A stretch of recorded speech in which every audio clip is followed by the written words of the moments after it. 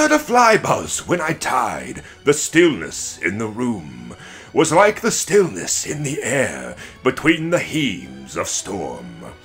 The eyes around had wrung them dry, and breaths were gathering firm for that last onset when the king be witnessed in the room. I willed my keepsake signed away what portions of me be assignable, and then it was there interposed a fly with blue, uncertain, stumbling buzz between the light and me. And then the windows failed, and then I could not see to see.